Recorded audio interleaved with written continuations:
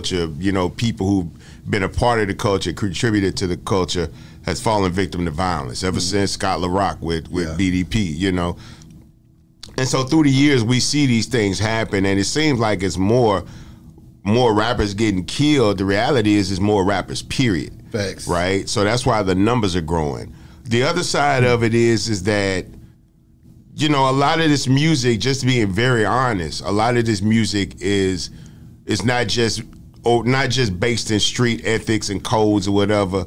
Um, you know, this this this culture, hip hop, was designed to help take people out of the streets and to try to give people an opportunity to see another life, present themselves in a different way, and not have to go through the same struggles that people from our communities typically have to fight through. Um, not just the financial struggle, struggles and the socio-economical struggles and cultural struggles, but just you know that whole idea of black people thinking that we're crabs in a bucket. Yeah, you know that kind of thing. We've been fighting against that for a long time.